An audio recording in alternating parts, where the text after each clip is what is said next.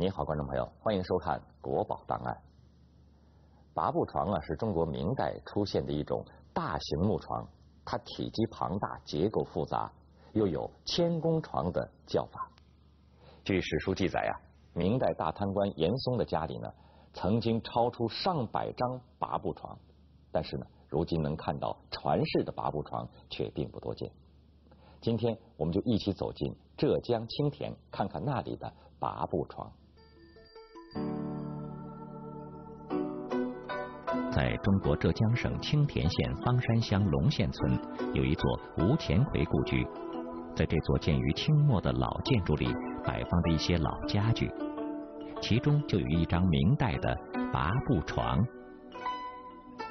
拔步床是一种造型奇特的床，它由三面板合围，宛如一间摆在房间里的小屋。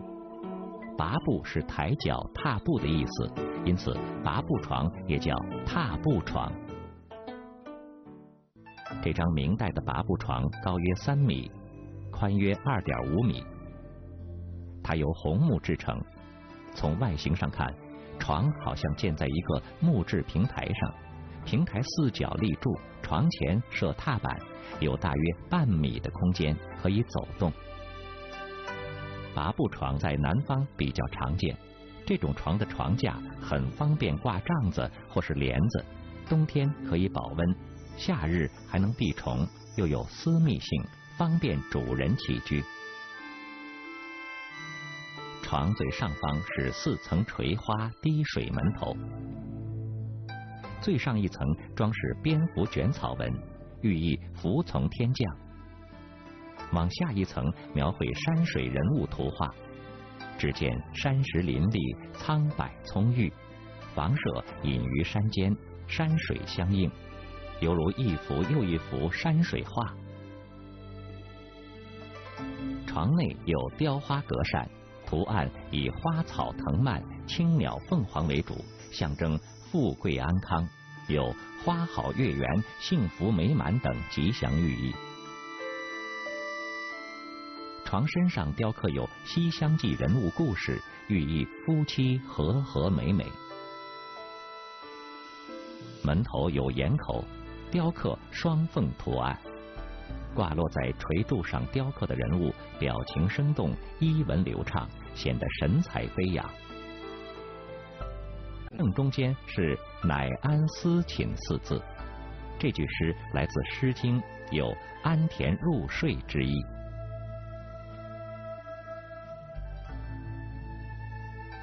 两侧隔扇下面的裙板，一侧题有。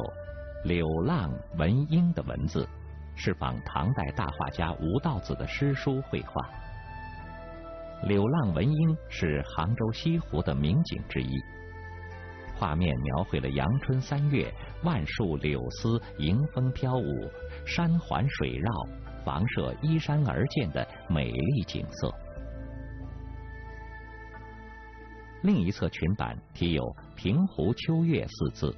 也是杭州西湖名胜之一，画面以此为题，下面配有诗句，诗画相结合的形式，为拔步床增添了几分文人气息。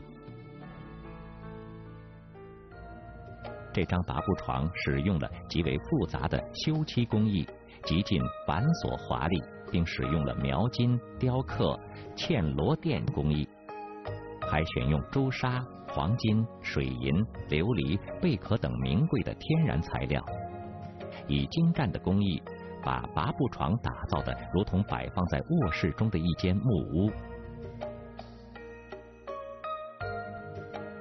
据专家介绍，拔步床是明代出现的豪华家具，因为用料巨大，在清代以后逐渐被架子床替代。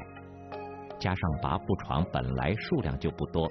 传世的实物就更少了。据明代《天水冰山录》中提到，在明代嘉靖年间，大贪官严嵩贪污罪行败露以后，遭到抄家的处罚。在他家中，一共抄出六百四十张床，其中彩漆雕漆拔步中床，也就是中号的拔步床，有一百四十五张。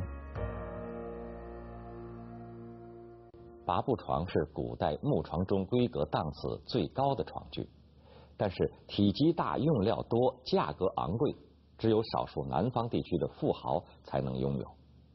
这张拔步床的主人呢，名叫吴钱奎，他的故事还要从他建造的这座豪宅说起。这张拔步床的主人名叫吴钱奎，他是青田县最早到海外创业的华侨之一。这座吴钱奎故居就是他早年修筑的宅院。这是一座用灰砖修建的宅院，房子的门楼设计成三角顶，顶中部雕有地球。门楼两侧各设一个冲天铁栅窗。因为年久失修，院外的砖影壁已经严重倾斜，泥塑的福字大部分已经脱落，处处留下岁月的痕迹。步入故居正房的墙壁上挂着吴钱奎和家人的老照片，中间的就是吴钱奎夫妇。吴钱奎所在的青田是中国著名的侨乡之一，当地有。九山半水半分田的说法，指这里山多河多，可耕种的田地很少。为了生活，三百年前青田人就有排排置走番邦的传统。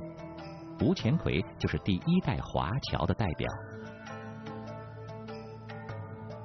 在吴钱奎故居里悬挂着一块海外观光匾额。这是清政府驻比利时使馆二品顶戴监督杨小景赠送给吴钱奎的礼物。匾额背后还有一段传奇的故事。吴钱奎从小家境贫寒，他先是在宁波一家茶叶铺当小伙计，后来被老板派到新加坡销售茶叶，从此开始了他在海外打拼的人生经历。一九零五年，吴钱奎来到意大利罗马贩卖茶叶。一九零六年，他又贩茶来到比利时的布鲁塞尔。经过清政府驻比利时使馆介绍，吴钱奎携带家乡的茶叶到意大利参加赛会。由于茶叶质量上乘，吴钱奎获得了银奖，为祖国赢得了荣誉。清政府驻比利时使馆官员杨小景得知喜讯，特意制作了这块海外观光匾，赠送给吴乾奎，表彰他为国争光，并且在匾额上记述了这件事情。比利时有一年整个城市那个红眼病，那个红眼病呢是一个是那个茶叶呢把它捣碎，把它围在那个眼睛上，那个红眼病就马上就好了嘛。那么那时候是轰动比利时的。一九三零年，吴乾奎衣锦还乡。这座吴氏老宅就是当年吴钱奎为了光宗耀祖特意建造的。据说，建造豪宅的水泥、钢筋是从美国一路走水路运到青田的，再请工人挑进方山乡。房子是按美国花旗银行的图纸建造起来的三层洋房。但是照壁上偌大一个“福”字，还有别墅内部的木结构，特别是清一色的中式家具和这张豪华的拔步床，都彰显出吴钱奎对中国传统文化的重视。叶落归根是中国人的传统观念。吴钱奎虽然一生大部分时光呢是在海外漂泊和奋斗中度过的，他的后代虽然也生活在世界各地，但是。他们都在青田的老宅中结婚，甚至也用拔步床作为各自的婚床。在吴钱奎故居里，除了这张明代的拔步床，还有两件清代时的拔步床，是吴钱奎的后人使用的婚床。这张写有“官居赵瑞”的拔步床极具诗意，在《诗经》中有“关关雎鸠，在河之洲”。窈窕淑女，君子好逑的名句，在这里，关雎是一种瑞鸟，常常用来比喻感情和睦的伴侣，形容夫妻忠贞不移。赵瑞则是预兆喜得贵子的意思，这是对祥瑞子熙的祝福。床上的四字匾额体现出中国文化既有诗情画意，又有对未来美好生活的祈祷，可谓独具匠心。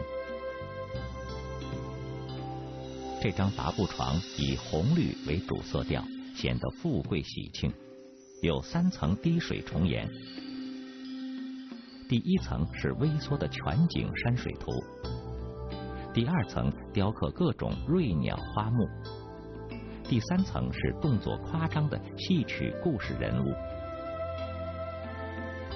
整张大床以床内侧的图案最为精彩，五幅格扇分别以五幅图画描绘了杨家将的故事情节，每一幅图画描绘人物众多，场面宏大，好像是一场正在上演的舞台剧。这个床是吴显辉的儿媳妇的妈妈。当时是他陪嫁过来的，他陪嫁过来又陪嫁给女儿，女儿就是吴显辉的儿媳妇，就就陪嫁到这里来的。